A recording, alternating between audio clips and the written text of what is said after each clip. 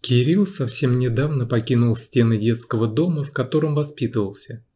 Он был круглым сиротой. Отец – комбайнер и погиб от несчастного случая на работе, а мать убила током. Трагические случайности стали причиной того, что Кирилл попал в приют в возрасте трех лет. У него не было других родственников, поэтому детский дом стал единственным вариантом для малыша. В детском доме ему пришлось несладко. Он помнит, что над ним постоянно издевались старшие, зажимали по углам, били, отбирали хлеб и котлеты на обеде. Кирилл их боялся, поэтому отдавал беспрекословно все, что они захотят. Преподаватели знали об этом беспределе, но почему-то бездействовали. Однажды Кирилл услышал, как две учительницы шептались в коридоре. «Ничего, пусть научатся сами за себя стоять, а то в жизни им еще хуже будет. Тут хоть опыта наберутся, как себя вести в таких ситуациях». Мальчика как будто окатили из ушата ледяной водой. Но он навсегда запомнил слова воспитателей, что надо готовиться к проблемам в будущем и учиться с ними справляться.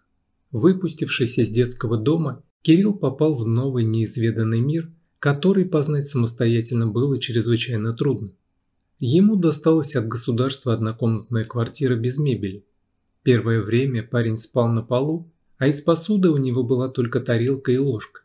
Кирилл был постоянно в поиске работы, но его взяли только грузчиком и уборщиком туалетов. Днем молодой человек таскал мешки с мукой и ящики с овощами, а ночами драил туалеты в ресторане. Конечно, ему не нравилась такая работа. Кирилл чувствовал себя человеком второго сорта. Он понимал, что его зарплаты практически ни на что не хватает, хотя он тяжело работает днями и ночами. Однажды у Кирилла порвали зимние сапоги, и ему пришлось срочно покупать новые. Отдав половину зарплаты за обувь, Кирилл с ужасом понял, что до следующей получки ему придется голодать. Парень не брезговал собирать со столов в ресторане, где он работал, остатки еды и хлеба, чтобы дома была хоть какая-то еда. Тяжелое положение детдомовца продолжалось довольно долго. Он жил в проголодь и надеялся только на чудо. И чудо свершилось. Правда, не в той форме, в которой ее ожидал Кирилл. Да и вовсе это было не чудо. Но тогда парень думал, что для него это огромный шанс выбраться из нищеты. Гуляя по улице, он встретил своего одноклассника из приюта. Он познакомил Кирилла со своей компанией, но оказалось, что парни занимаются темными делишками. Скользкие типы промышляли небольшим воровством, перепродавали краденые мобильные телефоны, грабили банкоматы, не брезговали мелким мошенничеством и промыслом в больших гипермаркетах, где обнаружить воришку было не так легко. Им постоянно нужны были новенькие – так как все время подставлять своих не хотелось. Они сразу начали заманивать Кирилла к себе, обещая легкие деньги и минимум усилий. В глубине души парень не был преступником, но по причине молодости он еще не особо понимал, что такое хорошо и что такое плохо. Старшие товарищи по неопытности попросили его постоять на стреме, хотели проучить одного жлоба. Выставили все благородно, и дурачок Кирилл попался на удочку. Парни использовали его в своих целях, а он даже не сразу и понял. В итоге Кирилла взяли полицейские. Он не сообразил, что надо бежать. Понял, когда его уже скрутили. Дежурный оперативник начал грозить завести уголовное дело. Его хлебом не корми, дай посадить детдомовца. «Знаю я вас», – грозил пальцем дежурный. «Одни воры да грабители». Кирилл боялся, что его посадят, Поэтому тайком попросил соседа по камере дать позвонить воспитателю Николаю Петровичу из детского дома. Он очень благосклонно относился к Кириллу и всегда был готов протянуть руку помощи. Узнав о беде, мужчина бросил все дела и примчался в полицейский участок, чтобы спасти бывшего воспитанника. Опер страшно не хотел отпускать парня, но воспитатель его уговорил. Благо, красноречие было его коньком. Николай Петрович красиво размахивал руками и убеждал полицейского, что Кириллу будет лучше в армии. «Пусть он идет в армию, вам что, жалко что ли? В любую часть. Из него там человека сделают. А так, отправишь его в тюрьму и получишь еще одного рецидивиста. Колония ведь редко исправляет. Там все с переломанными судьбами». С большим трудом воспитателю удалось уговорить полицейского. Прямо из тюрьмы Кирилла отправили в военкомат, а оттуда в армию. Три месяца учебки под руководством суровых сержантов, а потом Кирилла перевели в часть. Вполне себе обычная воинская часть, не ВДВ. Все как обычно. Дедовщина, караулы, наряды. В общем, служба не сахар. Однажды из роты, в которой служил Кирилл, отобрали троих добровольцев. Зачем? Никто не знал. Как выяснилось, солдат припахали делать ремонт и помогать на приусадебном участке одному из генералов. В числе счастливчиков был и Кирилл. Дача у генерала была расположена в живописном месте. Лес, рядом река, небо голубое-голубое, как с картинки. Природа, просто закачаешься. Солдаты целый день работали. Они красили заборы, белили деревья, копали, таскали стройматериалы, занимались отделкой фасадов. Работа была не тяжелая, местами даже приятная. Но в конце рабочего дня у парней сильно болела спина и ноги. Хотя это было лучше, чем исполнять приказы на плацу. Тем более, что генеральская повариха кормила солдатиков от души. Они каждый день лакомились домашней выпечкой, что в армии не особо увидишь. Работы у генерала было непочатый край, поэтому солдатам скучать было некогда.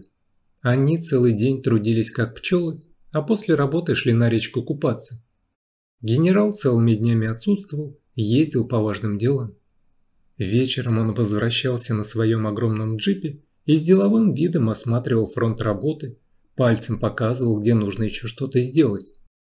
Его толстое важное лицо с двойным подбородком всегда имело надменное выражение, словно он презирал всех вокруг себя.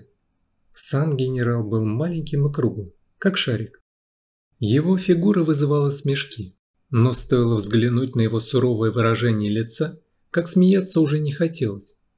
Он был довольно строгим мужчиной, который никогда не повторял свои слова дважды. Если с первого раза не услышали, то на завтра он уже искал новых работников, поумнее. Время от времени солдаты видели генеральскую дочку, которая выходила в беседку читать книги. Она была великолепно сложена, ее белокурые курчавые волосы торчали из-под бейсболки. Веснушчатое лицо Миланы было настолько милым, что сразу становилось ясно, почему ей дали такое имя. Девушка сидела на свежем воздухе часами. Она задумчиво вчитывалась в каждую страницу, изредка помечая страницы красным маркером. Что она там подчеркивала, не знал никто. Но вся книга пестрела красным. Иногда Милана приносила с собой в беседку вазу с мандаринами или зефиром. Она читала книгу, смешно надкусывая зефирину и тянулась за другой, хотя первую еще не съела. Это выглядело так комично, что Кирилл улыбался краешком рта, поглядывая на девушку. Он давно заприметил, что Милана вызывала у него легкое восхищение. Она была такой легкой, воздушной и милой, что сама походила на розовую зефирку, которая таяла во рту. Генеральская дочь была мечтательной красавицей, безумно любила стихи поэтов Серебряного века и сама иногда баловалась поэзией. Она абсолютно не была похожа на служаку генерала, а скорее пошла в мать. Елена Васильевна была учительницей русского языка и литературы. Семь лет назад женщина не стала от онкологии. Милана и Евгений Николаевич очень тяжело перенесли утрату, но нужно было жить дальше. Отец же был настоящим воякой. В горячих точках воевал, а наград у него – вагон и маленькая тележка. В должности генерала он упивался властью. Не прочь был выпить и покуролесить с барышнями. Но из уважения к памяти супруги Елены жениться не хотел. Милана была его единственным ребенком, поэтому Евгений Николаевич очень переживал за дочь. Однажды Милана вышла из дома и пошла прогуляться. Девушка весь день мечтала искупаться в речке, так как день выдался знойным. Стояла невыносимая жара, а вода в реке была прохладная. Только Милана начала плавать, как ногу схватила судорога. Девушка стала тонуть. Кирилл как раз работал в саду. Он услышал истошные крики, доносящиеся с реки. Побежал и увидел Милану, которая уже совсем обессилила. Бросившись в воду, молодой человек спас девушку и поплыл на берег вместе с ней. Откачав ее, Кирилл шумно выдохнул. «Фу, слава богу, жива! Я думал, ты уже того, коньки двинула». Девушка еле слышно прошептала спасибо и устало положила голову обратно на землю. Вернувшись на дачу, Милана рассказала отцу о случившемся, но тот даже не подумал благодарить солдата. «Подумаешь, салага, дух бестелесный!» Кирилл не обиделся, все проглотил. Он был парнем не гордым. Главное, что спас девушку, а остальное неважно. После этого случая Кирилл еще несколько раз бывал на даче генерала. Он постоянно виделся с Миланой во дворе, пару раз пытался заговорить. Как ни странно, девушка отвечала ему и даже очень была заинтересована в разговоре. Между Миланой и Кириллом возникли чувства. Не сразу, конечно, но вскоре Кирилл понял, что влюблен, а девушка неожиданно ответила ему взаимностью. Свидания проходили на заднем дворе в беседке, там же, где Милана днем читала книги. Ночью это было самое укромное место. Девушка шепотом цитировала известных поэтов, а Кирилл громко смеялся, но она ему ласково закрывала рот рукой, чтобы прислуга не услышала. Солдат был по уши влюблен в генеральскую дочку. Он не мог дождаться ночи, чтобы отправиться к ней на свидание. Кирилл никогда не встречал такой девушки, как Милана. Она вовсе не походила на городских фиф, которых привык видеть Кирилл. Девушка была отлично воспитана, немного старомодна и мила. Она никогда не спрашивала о материальном положении Кирилла, и ее не интересовало, какой у него телефон. Милана просто любила его, отдавая всю себя. Вскоре о любовной связи дочери и солдата узнал генерал. Ему настучали сослуживцы Кирилла, чтобы заслужить поблажки и не идти в наряд. Генерал был в ярости. Он думал. «Загонаю тебя, сволочь, урою! С моей дочерью вздумал якшаться. Нашел с кем!» Он дал указание перевести Кирилла в отделение с самыми отмороженными дедами.